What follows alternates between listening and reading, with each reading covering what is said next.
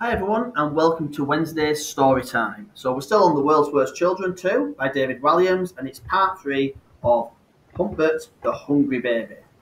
So here goes. Nina, Nina, Nina. The ambulance screeched to a halt outside what was left of the family home. As soon as it stopped, Humbert lumbered over it. He began to pick up the ambulance with ease. Ah! Screamed the ambulance driver as he leapt out the door, landing on the ground with a thud. Oof! He looked up in horror as a giant baby crushed the ambulance with his bare hand. Crunch! Wah!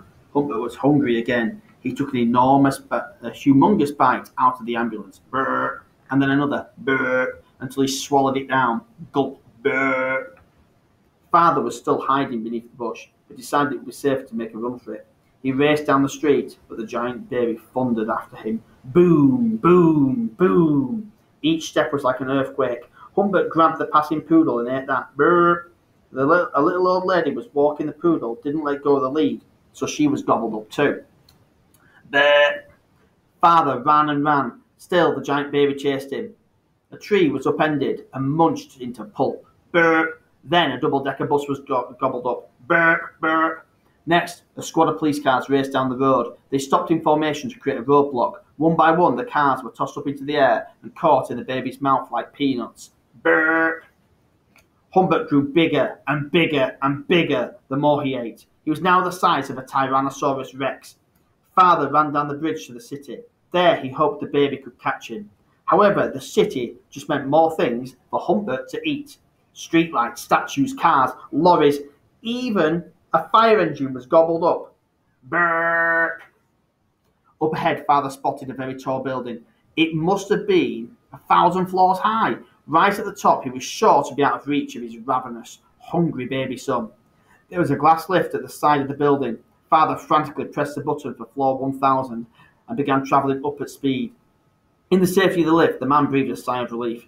The lift jolted as if it reached the very top of the building. Doors slid open and a father rushed onto the roof.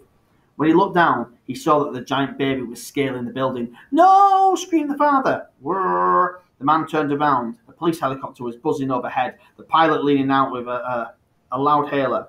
Giant baby thing, please make your way down the street level and stop eating everything. Humbert reached out to grab the helicopter. He swatted at it like a fly as it began falling to the ground. The giant baby grabbed the helicopter and he ate it.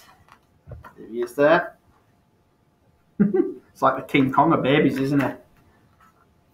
In no time, Humbert had climbed to the top of the building. Father was trapped. The baby's ginormous hand reached onto the roof and scooped at the man. Don't eat me, he pleaded. I'm your father. But the baby just smiled, baring his gums. Ah, screamed the man as he disappeared into the baby's mouth. Then the baby spat him out. Yuck! The mustard! exclaimed father, scrambling to his feet um, on the roof of the building, slipping over the slippy, uh, spicy sauce that saved his life. Just then, three fighter jets whizzed past. Don't shoot! Don't shoot! shouted father. All we need to do is coat every man, woman, and child in the world with mustard, and we'll be all fine. The baby reached out and grabbed one of the fighter jets. He munched it down, burp, and then another, burp, the pilot of the third jet start, uh, started to fly off at speed. Humbert reached out to grab it, and as he did, he lost his balance. No! screamed the father as the big baby tumbled to the ground. Wah! Humbert, the hungry baby, was no more. So, what was the moral of this story? It's very simple. However hungry you are, never try to eat three fighter jets in one sitting. Two is more than enough. And there he is. I don't quite know how far down he's gone after he's fallen, but he's clearly gone. That's it for today. See you tomorrow. Bye bye.